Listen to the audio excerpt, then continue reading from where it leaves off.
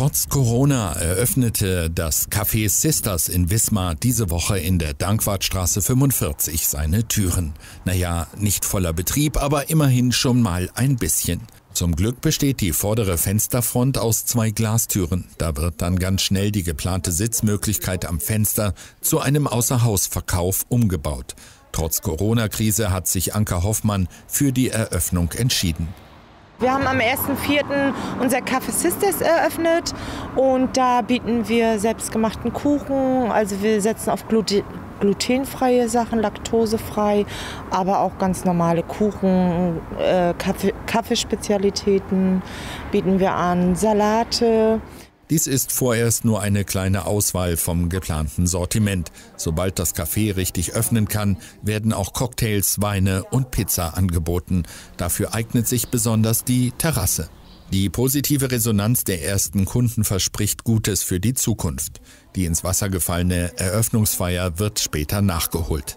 Wir waren so zweigeteilt. Ne? Wir hatten so ein bisschen Angst, dass es überhaupt nicht angenommen wird. Aber tatsächlich war die Resonanz ganz gut. Unsere Straßenfreunde, unsere Nachbarn, die haben uns sehr unterstützt, indem sie ein paar Leckereien hier gekauft haben. Aber auch ein paar Spaziergänger, die dann zu zweit unterwegs waren, haben sich dann ein Stück Kuchen mitgenommen. Das war schon ganz super. Ebenfalls am 1. April hatte auch das Musikhaus Music and More Grund zum Feiern. Wir hatten also hier am 1. April ähm, 20-jähriges Bestehen von Musik und More in Wismar in der Breitenstraße 20. Eigentlich war es geplant, eine schöne große Party zu machen, ein bisschen Live-Musik vielleicht, ein bisschen ähm, Unterhaltung mit den Gästen, mit Lieferanten oder mit äh, Kundschaft und Familie und Freunde. Aber wir wissen alle, es geht im Moment nicht so richtig wirklich. Ne?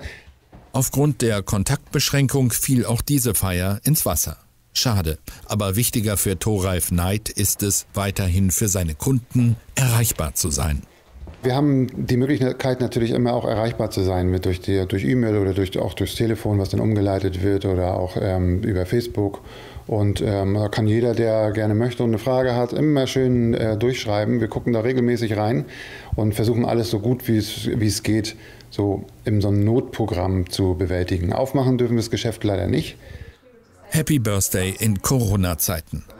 Außerdem können Kunden auch weiterhin die neu dekorierten Schaufenster betrachten und Musikwünsche für kommende Besuche sammeln. Music is the best. Dieses Motto von Altrocker Frank Zappa bleibt auch in Corona-Zeiten aktuell.